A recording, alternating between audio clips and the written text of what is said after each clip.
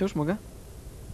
Magazyn Telewizji Bielsko, 23 listopada, poniedziałek Edyta Nowak. i Marcin Szendał. Y, Polska prasa donosi o kolejnych strajkach, jakoby miały się odbyć. Nie prasa. Jakoby miałyby się odbyć. Yy, a mógł powiedzieć, która jest dziś, która jest jaka data? Tak powiedziałem. No, no to przedstaw Marcin Szędą ja, i już mi przekaże, ja powiem, i Edyta Nowak. Magazyn Telewizji Bielsko, 23 listopada, poniedziałek. Marcin Szendał. I Edyta Nowak. Bo jak na pewno wiemy, prasa ogólnopolska donosi o kolejnych strajkach, y, które mają być w najbliższym czasie. Zobaczymy, jak mają się nasi lekarze. Bez sensu. Magazyn Telewizji Bielsko, witamy w poniedziałek, 23 listopada, Marcin Szendał. i Edyta Nowak.